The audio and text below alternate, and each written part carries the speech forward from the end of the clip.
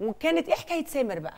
احكي لي بقى حكاية خدة الفلامينجو احكي لي سامر واحكي لي عن حبيبة سامر أو الضحية اللي عرف سامر يوقعها.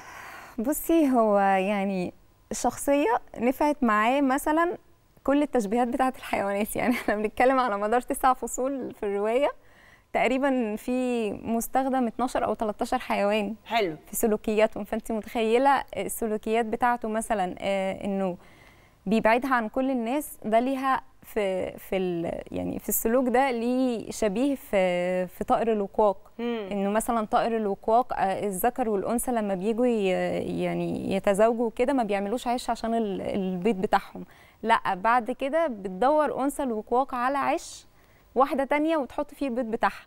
فتيجي الأنثى اللي هي الطائر تاني أصلا تلاقي آه، يعني بيض غريب عنها بس هي ما بتبقاش عارفة هم مخادعين للدرجة دي. البيضة بتاعة الوقواق أول ما بتطلع أول حاجة بتعملها إيه؟ أول ما بتطلع من البيضه بترمي كل البيض اللي حواليها.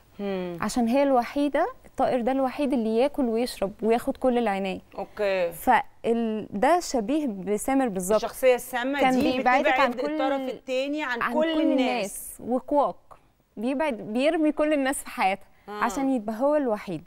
هو الوحيد اللي في حياتها هو آه. الوحيد ما فيش لا أصحاب بقى لا مش فارقة رجالة أو ستات يعني هو شكاك بس مش فارقة رجالة أو ستات هو بيفصلها عن كل الناس مم. عشان في الآخر تبقى واقفة لوحدها كده ما ما تعرفش نفسها مم. وعشان ما حدش ينبهها إن في حاجة غريبة بتحصل في مم. حاجة خطأ بتحصل ما حدش ينبهها. بتبقى هي لوحدها.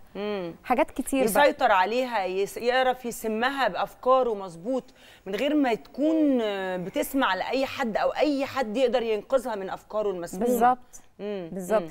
ولو لو أنثى الطائر ده اكتشفت الخدعه في علماء بيقولوا إن هو بيصدر صوت عشان يهددها يجذب المفترسين ليها فهي مم. بتخاف ما مم. هو هو هيتاكل وهي هتتاكل بس هو بيهددها. الشخصية السامة برضو لما بتبتدي انت تناقشيها في أي حاجة أول تهديد خلاص نسيب بعض مم. ده أول تهديد مم. طول الوقت تهديدات طول الوقت معايشك في حالة رعب إنه ممكن يسيب ممكن يبعد.